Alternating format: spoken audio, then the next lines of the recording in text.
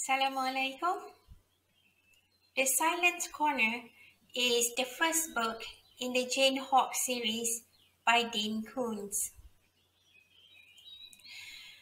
Unable to understand the reason for her husband's suicide, Jane Hawk started looking into suicide statistics.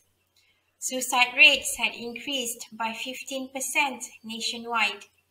The people who committed suicide didn't fit the profile of people with depression or mental illness. Increasingly many were well adjusted, happy, and successful people who were making important contributions to society.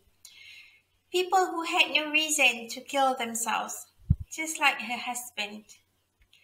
Another thing they had in common was their puzzling suicide notes. It was as if they really did not want to kill themselves. It was as if they were coerced to do so.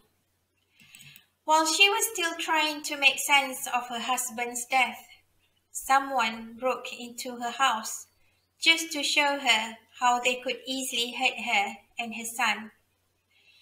If she didn't back off, they would take away her son, rape him, and kill him.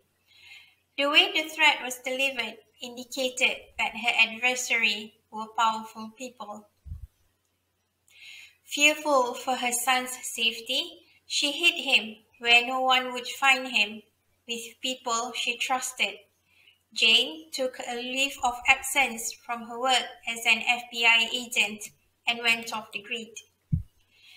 They were powerful people who wanted to dominate the world and were eliminating those they considered undesirable to the future they wanted to create.